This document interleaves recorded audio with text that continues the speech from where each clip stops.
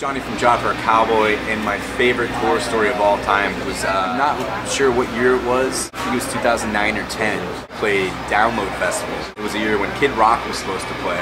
Apparently, the people there were threatening to throw rocks at him, so we decided not to play.